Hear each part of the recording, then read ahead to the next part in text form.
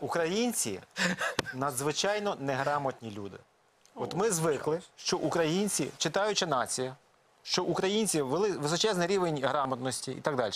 Це було тих українців, на жаль, які залишилися, е, які, які стали старше покоління. Так? І навіть ці українці теж зараз така епоха постправди, коли пересічний українець, ну громадянин за- загалом пострадянського світу, не відчуває, де правда, де неправда наші уряди багато брехали.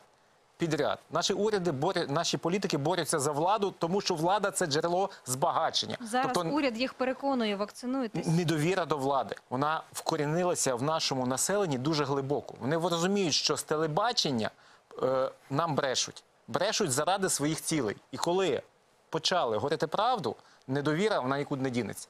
На відміну від урядів е, західних країн, де, Почули. де влада, ну ще не три хвилини навіть, де, де влада це, це, це не є е, засіб збагачення, а це влада, це служіння людям.